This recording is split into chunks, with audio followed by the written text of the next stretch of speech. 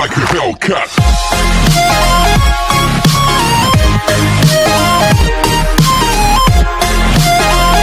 Good morning, respected principal, teachers, parents, and all my dear friends. It's a great privilege to be here this morning. Today, I am speak about my country, India. The name of my country is India. India is also known by the name Hindustan and Bharat.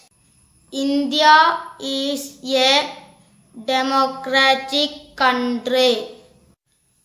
Her people belonging to different religions Hindu, Muslim, Sikh, and Christians live in harmony with each other.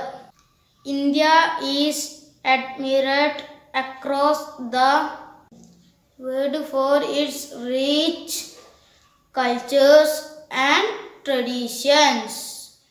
It is seventh largest country in the world. It is also the second most populated country in the world. My country believes in the slogan unity diversity. India has diversity in language, food, folk, cultures, clothes, and traditions. I love my country. I am proud to be an Indian. Jai Hind.